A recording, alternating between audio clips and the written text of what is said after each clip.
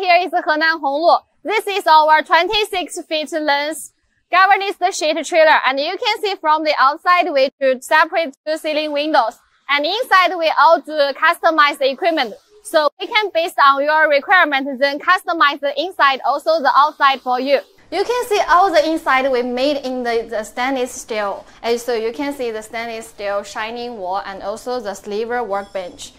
And also for all these equipment we can customize for you. So what equipment you need, we can install for you. And also you can see we prepared the full fire suspension system for all the kitchen equipment. So if you're interested in build your own trailers, you can feel free to contact us.